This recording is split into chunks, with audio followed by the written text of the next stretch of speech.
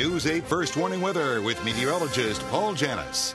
After a very nice weekend with temperatures all weekend days hitting at at least over 80 degrees for most of northern New England, looks like we'll be uh, dampening down those temperatures as we look ahead through our day here on Tuesday. High pressure still in control, but it's starting to weaken as it slides off to the north and east, and very ever so slowly a storm system will be pulling in from the south.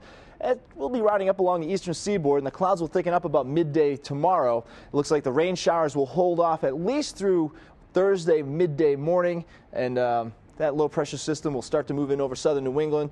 Uh, by about uh, midnight Thursday morning, we'll start to get into some fog and maybe some patchy drizzle with a easterly flow.